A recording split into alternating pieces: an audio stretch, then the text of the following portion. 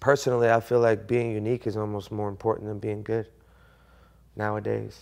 When you talk about how saturated the market is and how there's brand new artists and songs, thousands and thousands and thousands weekly. And there's just so much music out there and people can make music in their dorm room and upload it and it can exist. So, you know, there's just so much out there and personally if, if you have if you sound unique, if the music's good enough, you can become irreplaceable, you know? You have a place. I feel like this this could be that. You know, I definitely stand by it and feel like it it truly is unique and it's it's it's me.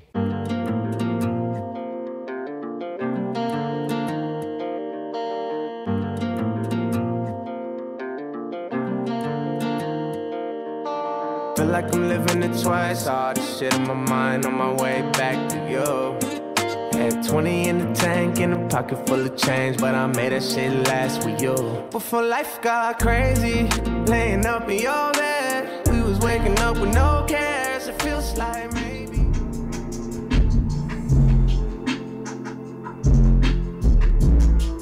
How would I describe the last few years of my life? Um, it's just been an adventure, and it's it's shown me that's what I want. I feel alive, like a lot more alive than I was in the past, which is a really good feeling. I can't really put a time, like put my finger on a time when it changed exactly. It was just a gradual change into like being grateful and happy and not taking for granted like the shit that's going my way, you know? We definitely have a super random, very crazy story, and I think that's pretty dope that we get to do that, you know? There was something so easygoing about the whole thing that eased into it. I wasn't being hypercritical of myself. I didn't even fucking care or know. Yeah, yeah, Like I didn't. yeah. I wasn't like, this isn't professionally mixed. This isn't on a good mic. I should. Oh, you know what I mean? Or no. or like. What are people gonna think about this? For whatever reason, I never had that. If you saw it and you liked it, you liked it, and then there are people like, "Fuck this guy," you know, Yeah. Mike Stud, white rapper from Duke, talking about fucking bitches and playing baseball, sports references. But look, when I look back at it, it's the same reason people like me now. I think the music's gotten better. I think I've evolved, but I was being myself. Yes. hundred percent, through and through. Like, what else was I gonna rap about?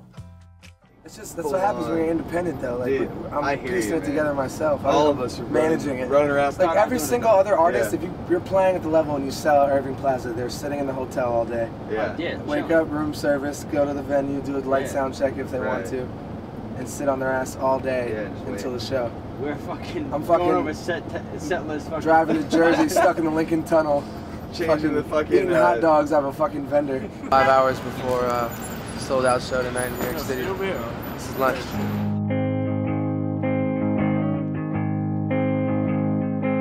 Even in the very beginning, it'd be like 50 people, but they'd be going fucking nuts. Yeah. They'd be going absolutely ape shit, and we'd be like, we'd be like just small college we'd be like looking around, like laughing, like, what the fuck is going on? Yeah. And then when it even got, it got pretty big, pretty fast touring wise. It was never a hip hop crowd. It never felt like, like a country crowd, a hip hop crowd. It was just this like smorgasbord of like jocks and cheerleaders. Every like the tone of it felt like a country tailgate in the sense of, like everyone's trying to get wasted and like yes. Yes. score the hot bitches in the section in front of them and like go to the bar after and drink till failure. I treated it like a campaign, bro. Like going and playing hundred person shows everywhere. I played five. We'd fucking be in Montana for four days and play four cities in Montana. I've never even stepped foot there, and all of them were hundred person shows. When we left that town, I really felt like like almost like a campaign. Like yo, a bunch. We won a bunch of people over. Everyone was talking about it. The next, you know what I mean? These small town, Des Moines, Iowa fucking set the place on fire, you know. But it was who we were. I was a ratchet motherfucker. We were wild motherfuckers. All we wanted to do is drink and be around girls and uh, be around fun people. You know what I mean? Like 100%. That's all we were doing, bro. Like I never, I never thought I was gonna be a musician ever. Yeah. So when it happened, then I was just like, yo, this is fucking insane. Batting third, pitcher Mike Seander. Right. Full count, three balls, two strikes. Gary, what do you say? Hey, let's go ahead, kick. Mike Stud was uh, an ex All American baseball player who, who thought that was really important. I was definitely like a nice person. You would agree, I think. Everyone, everyone we met, I was nice, you know. But I, I definitely had a lot of misguided beliefs and misguided outlook overall on shit. But Mike, Mike Stud was was like he was kind of a rock star. I'm Mike Stud. What am I supposed to say? Just Let him know, Mike. Too fucked up to be out in public. Too fucked up to be out in public. When mama don't know, won't hurt. And I'm across that bridge while it's burning. Yeah. Too basically ransacked every city in America. I filmed it, I put it on the internet, and that's Touring's Boring in a nutshell. Mike just released his second studio album named Closer, and it hit number one on iTunes in a day and currently sits at number one on Billboard. Even that athletic, yeah. I like it. You owe us a kiss? You want what? What do you own? Dick, yeah. Dick, he told us. He, he owes us dick tonight. Where is As ridiculous as those tour videos were, it was actually like a pretty good way for us to connect with our fans and give them like an inside look at the type of people we are. Just a bunch of big dumb idiots looking for a good time.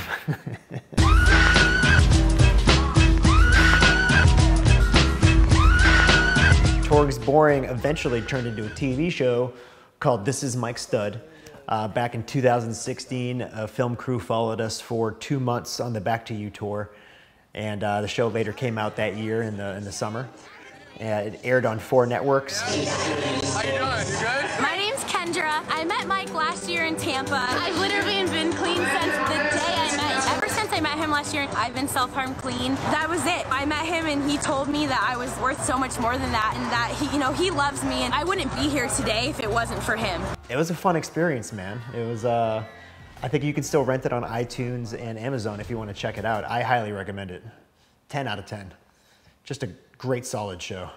I think most people just think about it and they think of the partying, but like, I've always had a seriousness. I've always had an inspiring undertone. If you go back and look at the catalog, it's almost 50, almost more songs about that type of shit. I'm staring at my MacBook. I got them digital dreams, cause we all want material. So that was always there and in me. I just, I just kind of became more connected with that side of things versus like the ego. Like, it's not like we're like, we've really changed anything. It's just kind of an evolution into like, you lose the stud and this music, it just so happened that I came, I became a new artist in the sense of the way I approach music.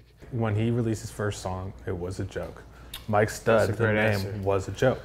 Like, he said it to me, I don't know, we've been doing this over 10 years. Nine or eight years ago, he said to me that he would have, if he had knew that he was going to be a rapper or a musician, he would have never called himself Mike Stud. It was definitely something that could have happened a lot sooner, but I'm just happy we waited because it feels right now, you know.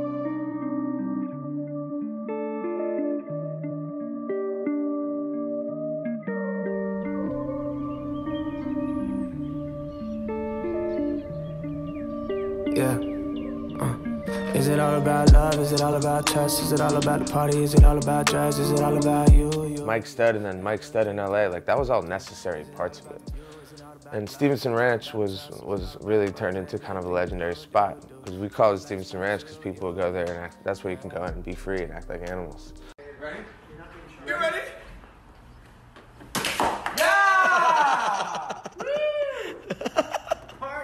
our house was really unpredictable, you know? Uh, one day I was up on our deck trying to chug a beer with a leaf blower. Hey, I'm Jon Kilmer. I'm gonna chug a beer with a leaf blower.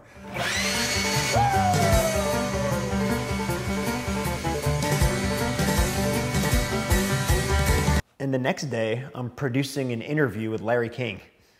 So, It's howdy doody time. It's time for fun and rhyme. Bob Smith and howdy do. Say howdy do to you. There you go.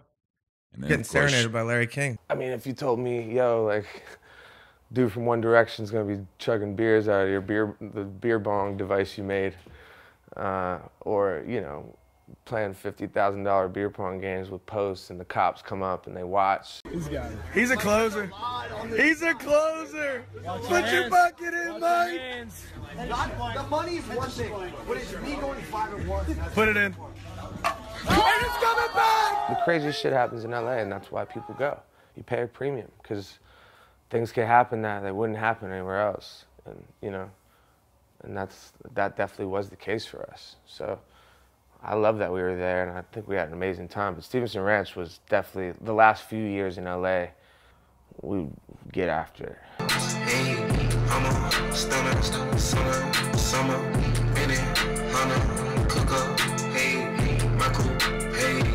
surfer, wave, have it, have it, sip it, a corn, bitch, nigga, A1, baby, back in the A car, baby, butter pecan, bringing that on a refund, bringing that back till I see the sun, I fuck the bitch on the jet, keep on get on her neck, she only call me for six, speeding that bitch, I stick up my foot on their neck, uh, I put on the wrist, It's a rolling light.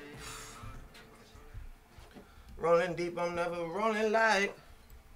Yeah. Bitch, I'm rolling like I'm Fred Durst. On in my head hurts. Take a apple head hurt. There's something no bad first. a big part of this whole switching sound was was freestyling and being just on a vibe versus like treating it like homework. And I used to treat music like an assignment. You know, back in the day, I would like sit there and write and wouldn't really party. But man, I re- I really learned about the wave and like how, how to translate it to the music a lot more, in my opinion. You know, towards the end of the night, it was oh, it was open up, and I just get on and just like be freestyling, and a lot of the shit I don't even remember, but a lot of them turned into these songs. Let's see what I said, because I don't remember. So much. Nah, it was fire. You said one line that was hilarious. You didn't call her Fred, I think. Yeah, that shit was hilarious. Everything made sense after that line, but it's. Yeah, uh, yeah,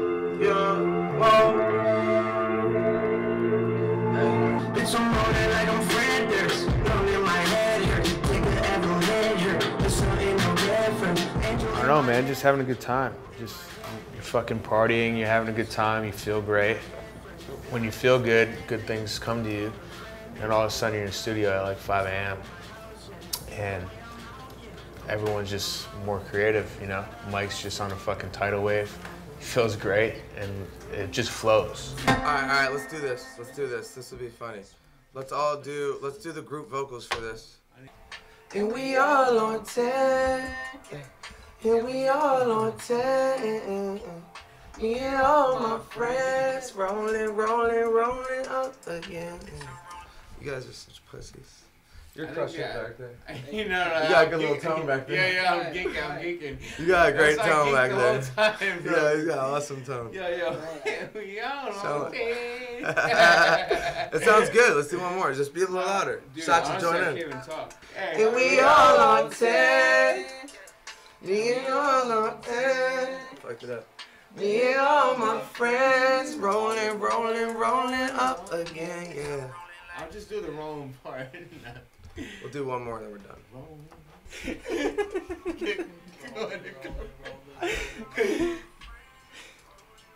Guys, going to get covered. Earthquake 20 minutes. You hate to see it?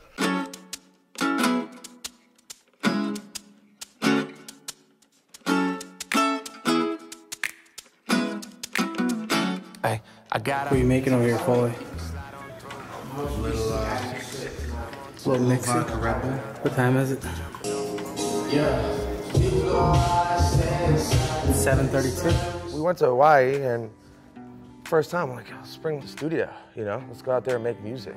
You know, I was just getting like lucrative, you know, where I had money to spend and do some shit like that. So we went out to Hawaii open ended. Literally made like 20 songs in like 20 days. It was very, very eye opening. I set up the studio, I'm looking out fucking the ocean and we're in Hawaii and I, I felt, I felt it all. And then I felt it channel into the music. I was just on a wave. We were making so many fun. And this was really what, like, this is the birth of the mic sound was in Hawaii. I got a hotel suite you can slide on through. Hard days, soft sheets you can climb onto. You know, I was having relationship issues.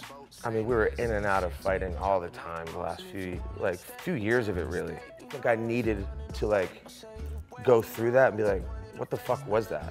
And that's that, that was really why I went down this path of like getting some answers about myself.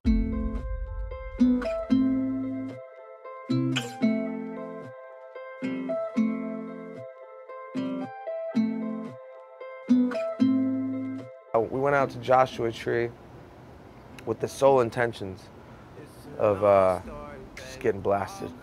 See you later, Steve.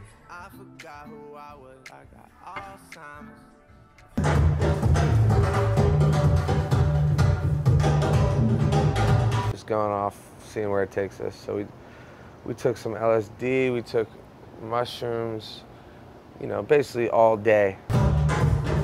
I'm not even that high. Just look at this shit is wild. I changed my mind. I want to smoke. It's like hanging out with fucking Steve from Mount Goose Most Wanted over here. no littering. I was gonna leave it, bitch. I don't know, Guys, no littering. We're on a school trip. So we all went on a hike, and like, it hit everyone while we were at the top of the mountain. Like, sun was setting perfectly. We're all fucking tripping out. John, what's going on down there? My legs are starting to wear off. His legs are starting to wear off. These legs aren't gonna work. I A feel little my bit. feet. this is the worst hike I've ever. I I went a moccasin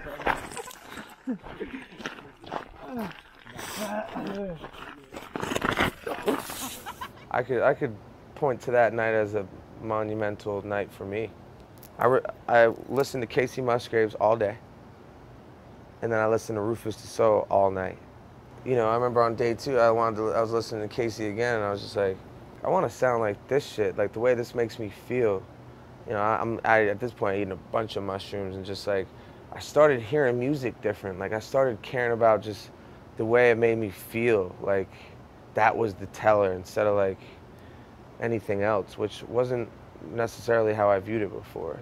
Obviously, coming from a hip hop or urban pocket, bouncing flows and cadences, but like merging that with like the energy of the Kacey shit and like how it made you feel. And then really, I just started thinking about country in general and this this new vibe where it's just like it's it's easy listening and I wanted all that and I, I wanted to create something, but it all clicked there which is really fucking dope because I had like a calling to go out there, and I'm pretty sure that was why. We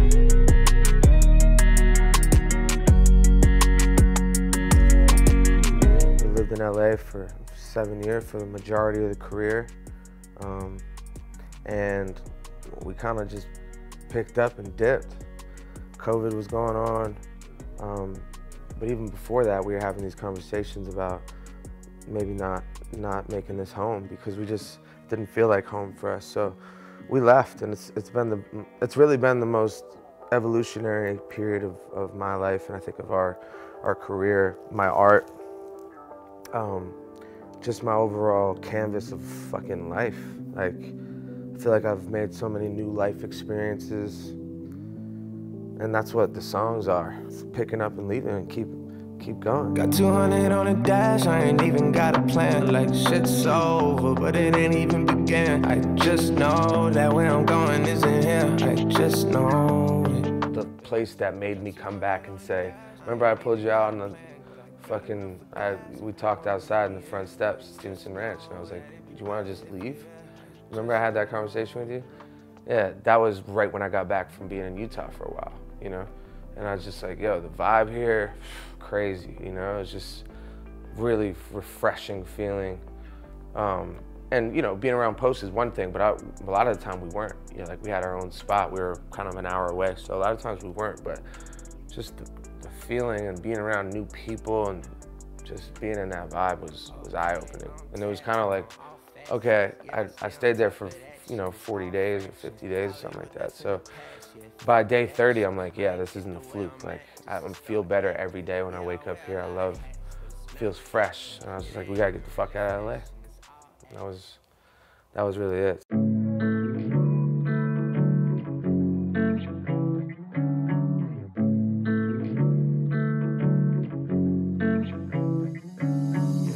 Yeah, days go by, These days, all I'm trying to know is who I am. Don't know why. It's been hard for me to stay in one place. Yeah, days go by. I've been trying to run away from what I know. I don't know where I'm going, but I do know why. Got a backwoods road full of big old smoke. Got a house full of friends, gotta keep them close. Got big old eyes for the things I want. And a voice in my head telling me I don't. Yeah, yeah. But right now I'm trying to make it to the morning.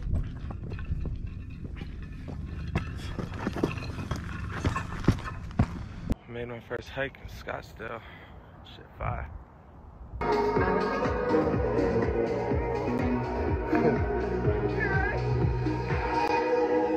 Good morning, everyone. How's everyone doing? Back with another vlog, better than ever. Uh, so it's been a while since I've been on this, but there's been a lot of things that have changed. Uh, this is the first time me and Jonathan are going back to the supermercado since leaving LA. So it's a real special moment. And Dago likes guys now. We're getting settled, trying to figure it out. It's a shit show, but we're here. Michael's up there. Since LA, we went to Scottsdale. I mean, I made some friends there that I think will be lifelong friends. And I was there for two and a half months. Blue water, we'll come in the highway. I say, got attention, do what I say on time. On time is what the time say. Your night with Riggs. Yeah, Riggs. Yeah. Oh, yeah. You took a bunch of money off him. He texts me at like 4 a.m. and he's like, he sent me a thing. He goes, uh, "I'm up 500," and then I got a text at like 9:30. He goes, "Just walked into my place. Things escalated." And he has his Venmo and it says minus 1,500. I think we were able to start a podcast because uh, it was right around COVID and everyone was quarantined. Musicians couldn't go on tour for over a year. So I think with that downtime, we kind of used that as an opportunity to start a podcast. And uh, that's how YNK Podcast was born.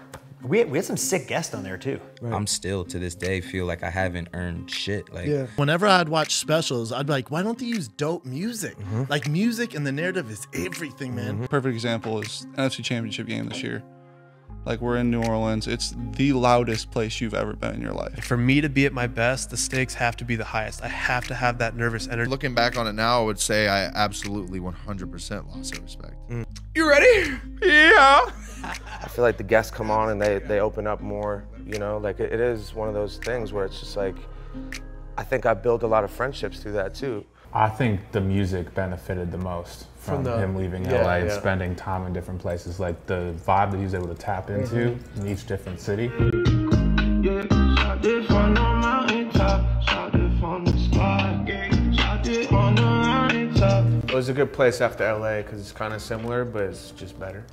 And Johnny was in the house. Johnny was living with us. Yeah. We're trying to play a game.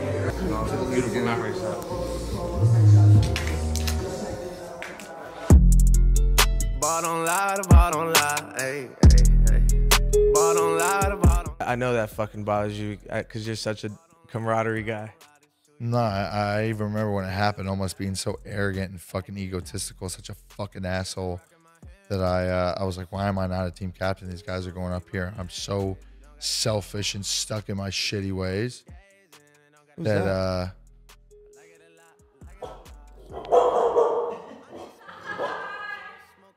Hello. howdy. What's up? Should we go to Delilah? I'm Sure. confused. Hey, Mrs. Steve.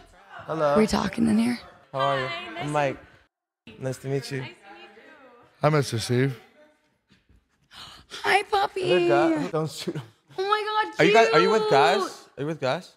Oh yeah, those are. Yeah. They almost just got shot. Yeah.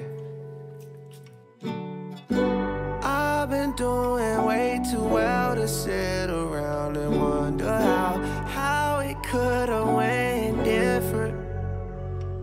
Yeah. I've been waiting all my life to live the one I'm living now. I'm the one that gotta live it, so I went missing. We went to Montana from there. Scottsdale was crazy. We partied a lot.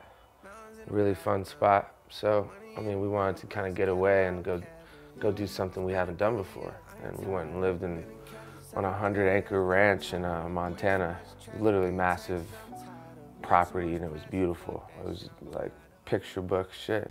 That's our final week on the ranch. Uh, easily the most magical spot we've ever been. Hey, buddy. Hi. Now we're up at headquarters, guys. It's obviously the front door of the crib right here. And then you just walk out to this. We did a polar plunge one day. Never out. I mean, I had a studio looking out just like this, just like mountains and trees and fucking elk and Yo, yo, yo, this is insane. Look how many there are. Wait, that's so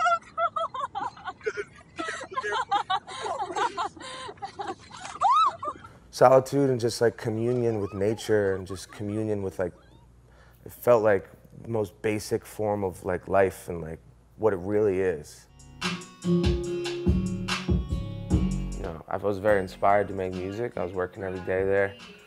Um, and it was just yeah it just showed me a whole other whole other side of life that i really liked i, I hadn't really experienced. So much peace there.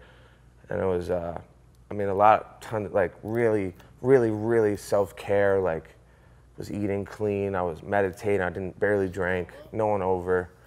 You know, it was just like a lot of alone time. It was really fucking good. You're just reaching for the fucking sky. Reach. Now every breath you take, uh, just feel feel your rib cage expanding. That's all right. Where you going? Hi, Stevie. What are we working on here? It's a little idea, Steve. It's a little idea. I could play a little sample out here in the streets. Days go by, these days all I'm trying to know is who I am. Don't know why it's been hard for me to stay in one place. Yeah, days go by. This is all like paint against the wall shit. Yeah. But a lot of that that was already kind of You just keep previously recording a bunch of shit, yeah. But then like I just kept opening it on another day, and I was doing this one. Take me home, take me home to the place I love. Hey, take me home, take me home, take me home. That would be a dope addition to that other song. Like a bridge or something. Yeah, like just like a part, you know what I mean? Mhm. But now, over a span of days, like I pick my favorite parts, put them together. A lot of times I'm saying shit that works together.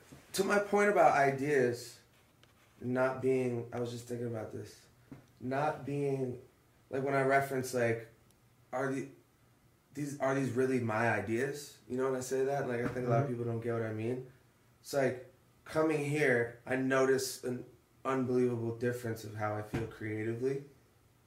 And, you know, even even saying picked up this this backwoods and smoked it and it played a part in that creativity.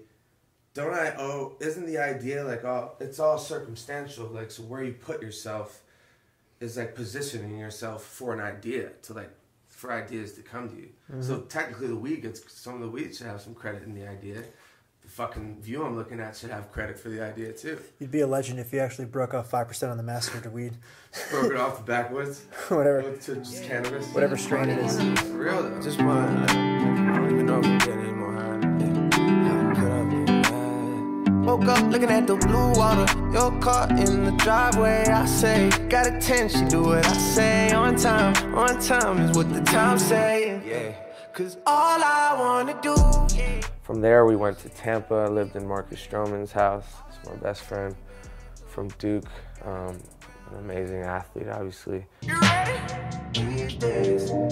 You ready? Girls these days. But amazing friendship we have. I mean, he literally just like let us live in his house. Marcus, what do you think about the new songs? I mean, John, you gotta hear these. I really think there's three songs in here at least. Just one take, John. One take. Listen to this shit. She rock, she roll on abundance. My hands too full to hold the pressure. I said she probably got free in the door. I got a shorty come see me more.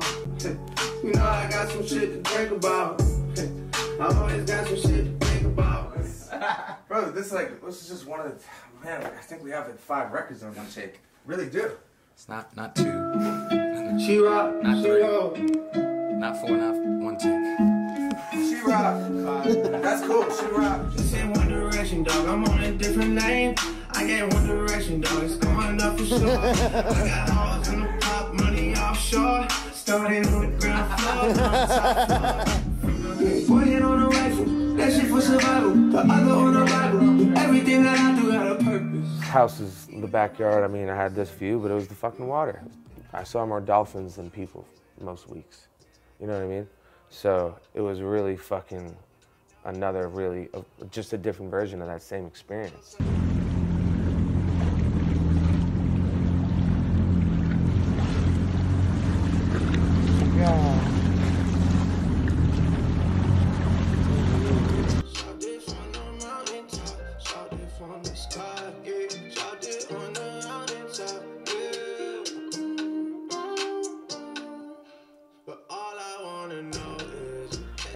It's given me like really good vibes, and it's made me feel like I'm growing and doing cool shit and just enjoying myself a lot more.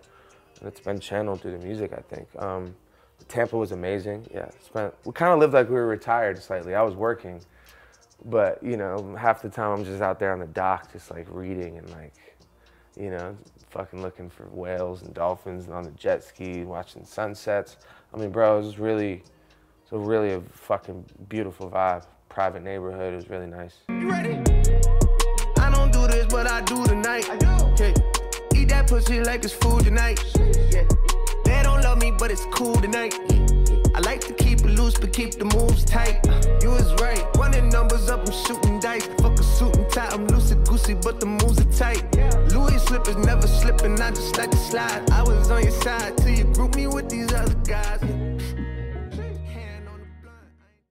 Travel the world. Travel the world, St. Dope spots, and sketch vibes. Just sketch vibes. Yeah. Yeah, I'm better at the ball game. I made two songs Great balance. slaps in the same beat. You see the balance, Sean? It's a balance clinic right now. See the balance of the beat? you ba- Look, I'm working on my leg punch with the beat. Guys, keep crushing. It's killing it. Be honest, John. I made two slaps, one beat to one beat in the same night. And focus up. The seagulls are ch- chiming in. Seagull's been listening all night. He said, "You have, you did do that." It's that same beat. Agree. Listen. I said, I had to pop it, yeah, yeah. I'm just saying, dog. dog. Yeah, I met her at the ball game. We was going up. I was watching one of my dogs play till you showed up. You know that's just what it was. Hey, Yeah, whoever picks that up. It's probably his favorite game ball. You may have thrown it off the dock. I got another.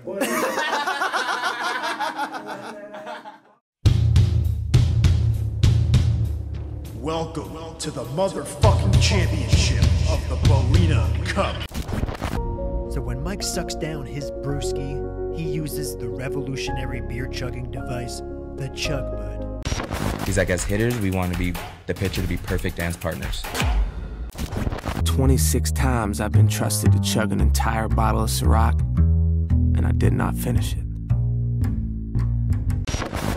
Business is a big part of my life and who I am, bro. Like that shit gets me gets me out of bed too, you know, just as much as anything else. Like I wouldn't want to just do the music, like I, or just the podcast. I like that kind of shit, and it's, it's important. But I think people come and see every crib we're at. People, I could see it in their eye. They're just like, "Damn, I didn't know you were getting it like that." You know, they, they know most people just like, "Oh, Mike Stud, yeah, singer." Like never, he's not on TV and on the radio all the time, so he's not rich. You know, we did it way different. We played the long game, and then you know we got lucrative. So in the music, we have touring, and then the premium, and then the streaming. Um, then there's, you know, our merch businesses do really well. We have the Mike merch, which Keep Going falls under. Stevenson Ranch, its own brand, is doing really well, and I think that one has the most legs. Um, we're doing some clothing shit. We were doing some clothing shit for some other athletes, like some of my homies doing collaborations. Uh, the Chug Bud is a huge business. This is called a chug bud. Basically, what it is is a combination of a beer bong and a shotgun. All you gotta do is open your beer, put the chug bud on the top, use the key that comes on the chug bud to poke a hole in the can for airflow, and then down the hatch. Gonna lean into that a lot more too in, in regards to partnerships and tapping my homies and shit and doing doing collabs with them. Yeah.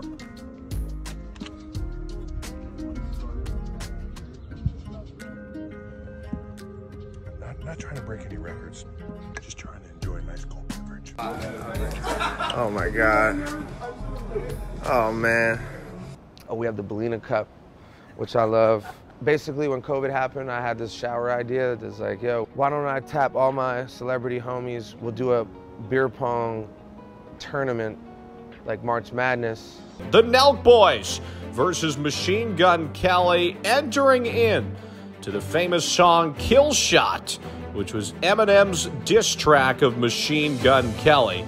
Kelsey and Danny Amendola were, let's be honest, pretty fucked up for this game. I haven't been practicing beer pong lately. I've been singing and dancing a lot lately, so Essentially, like everyone donates, you pay to get in, and we donate it to charity after. It's not for like the love and affection on it. It's for like I like the wins. I, li- I like coming up with good ideas and advancing. You know, advancing them and executing them.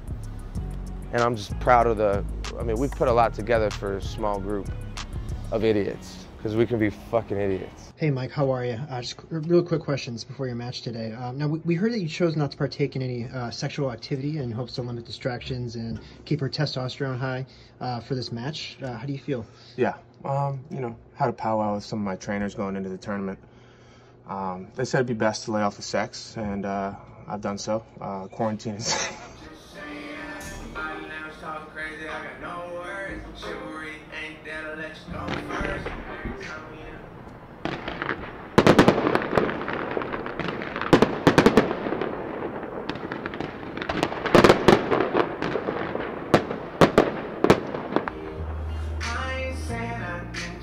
got my own fireworks, Steve.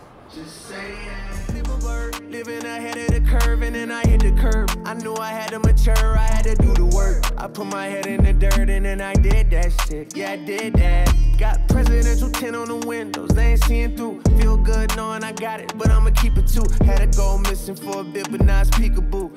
We were 100% right uh, as far as choosing Nashville to finish the album. Just like, it's Music City, the, the, there's music in the air here. And it's, I've made some songs here that are like a handful of songs that were made here or made the album. They're really, I don't know if there's a flyer spot in Nashville, like as far as just the location and right here, this is Broadway. It's like the most popular spot in Nashville right here. And we're, we're right on the river on the other side of the house, but it's just right in the thick of it, the best, best part of the city in my opinion. Um, but it's fucking soundproofed, like perfect spot to finish an album because I was able to really work here. If the whole place wasn't soundproof, I don't know if we would have been able to do it. So great spot. Super happy with the decision to to uh, come here to finish it for sure. tell you one thing, this is the most dangerous spot I think I ever lived. How do you not do that with a chug bud? What the pause?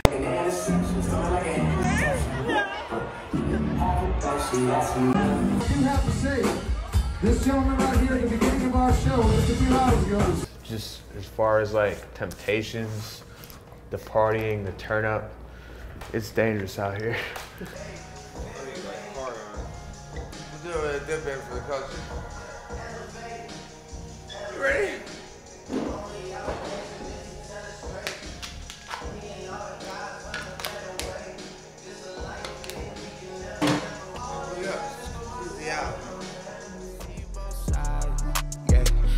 see me on the house on the hill. Eye contact with the pilot for real.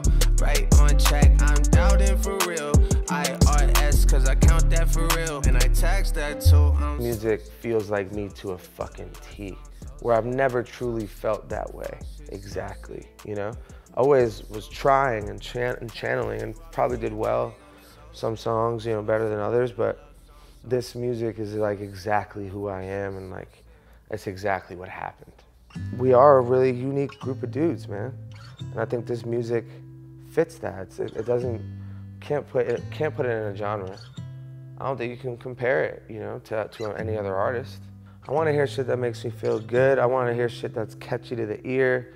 It's not too much, not too aggressive, not too late. It's just in the in that whole that whole vibe that I'm in as a person, you know. That's the feel good music, you know. That's all the great moments of these past few years that I was able to put into a song.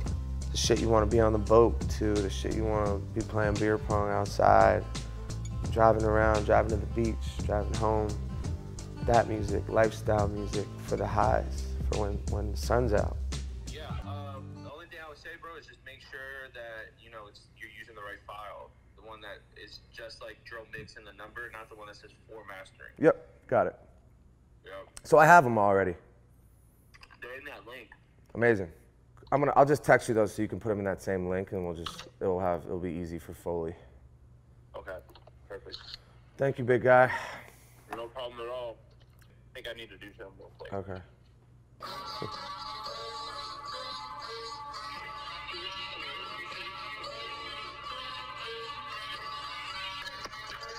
We did it. We did it. We did it. Little celebratory little jam right there, you know? A hundred percent. Man, thank you so much, bro. It wouldn't have been possible without you, obviously. So thank you so much. There's a lot of good stuff ahead of us, you know, for sure. It's a good feeling to have. You know, any, anything could happen, and I don't know. I'm not really even worried about the results. I just know people are gonna like it, and I know our shit will go up. And if it's supposed to go big up, then something will happen. If not, we'll continue to just grow and enjoy it. You know. Yeah, I do it again.